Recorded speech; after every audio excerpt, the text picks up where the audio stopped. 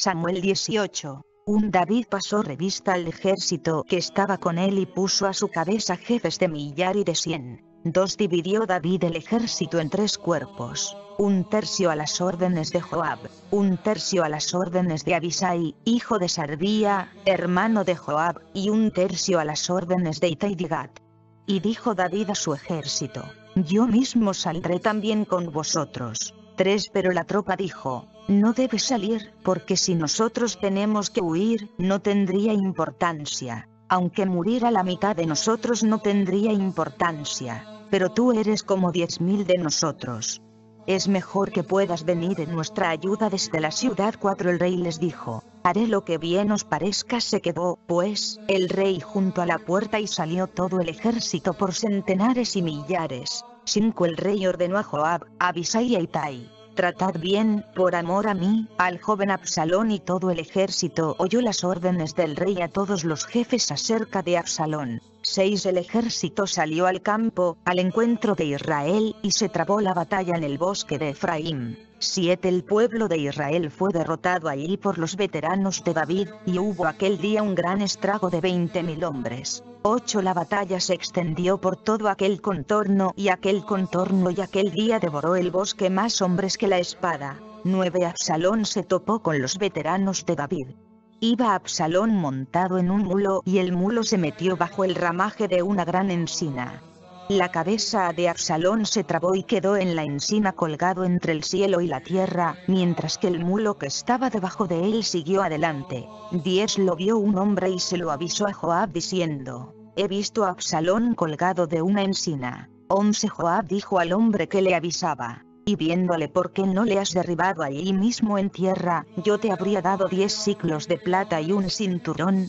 12 El hombre respondió a Joab, aunque pudiera pesar en la palma de mi mano mil ciclos de plata, no alzaría mi mano contra el hijo del rey, pues ante nuestros oídos te ordenó el rey, a ti, a Abisai y a Itai. Guardadme al joven Absalón. 13 Si me hubiera mentido a mí mismo, expondría mi vida, pues al rey nada se le oculta y tú mismo te hubieras mantenido aparte 14 Respondió Joab, no voy a estarme mirando tu cara, y tomando tres dardos en su mano los clavó en el corazón de Absalón, que estaba todavía vivo en medio de la encina. 15 Luego se acercaron diez jóvenes, escuderos de Joab, que hirieron a Absalón y lo remataron. 16 Joab mandó tocar el cuerno y el ejército dejó de perseguir a Israel, porque Joab retuvo al ejército. 17 Tomaron a Absalón, le echaron en el bosque en un gran hoyo y pusieron encima un gran montón de piedras. Y todo Israel huyó, cada uno a su tienda.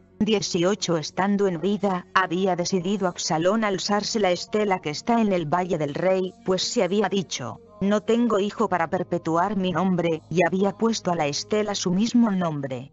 Se llama la mano de Absalón, hasta el día de hoy. 19 Ahimaas, hijo de Sadoc, dijo, Voy a correr y anunciar al rey la buena noticia de que Yahvé le ha librado de manos de sus enemigos 20 Pero Joab le dijo, no serás tú hombre que dé buenas noticias hoy, otro día las darás, hoy no las darás porque el hijo del rey ha muerto 21 Y Joab dijo al Cusita, anda y anuncia al rey lo que has visto el Cusita se postró ante Joab y partió a la carrera. 22 Insistió de nuevo a Jimaas, hijo de Sadoc, y dijo a Joab, Pase lo que pase, yo también quiero correr tras el Cusita. Joab le dijo, ¿para qué vas a correr, hijo mío?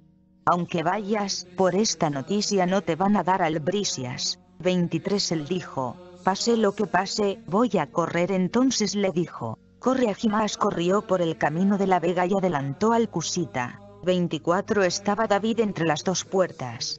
El centinela que estaba en el terrado de la puerta, sobre la muralla, alzó la vista y vio a un hombre que venía corriendo solo. 25 gritó el centinela y se lo comunicó al rey y él dijo, si viene solo, hay buenas noticias en su boca. Mientras este se acercaba corriendo, 26 vio el centinela otro hombre corriendo y gritó el centinela de la puerta. Ahí viene otro hombre solo, corriendo dijo el rey. También este trae buenas noticias. 27 dijo el centinela, ya distingo el modo de correr del primero. Por su modo de correr es Ahimaas, hijo de Sadoc dijo el rey. Es un hombre de bien, viene para dar buenas noticias 28. Se acercó a Jimás y dijo al rey, paz.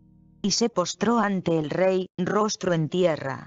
Luego prosiguió, Bendito sea Yahvé tu Dios que ha sometido a los hombres que alzaban la mano contra mi señor el rey 29 preguntó el rey, ¿está bien el joven Absalón? Ahimá respondió, yo vi un gran tumulto cuando el siervo del rey, Joab, envió a tu siervo pero no sé qué era 30 el rey dijo, pasa y ponte acá y pasó y se quedó. 31 llegó el cusita y dijo, Recibe, oh rey mi señor, la buena noticia, pues hoy te ha liberado Yahvé de la mano de todos los que se alzaban contra ti. 32 dijo el rey al cusita. ¿Está bien el joven Absalón? Respondió el cusita. Que les suceda como a ese joven a todos los enemigos de mi señor el rey y a todos los que se levantan contra ti para hacerte mal.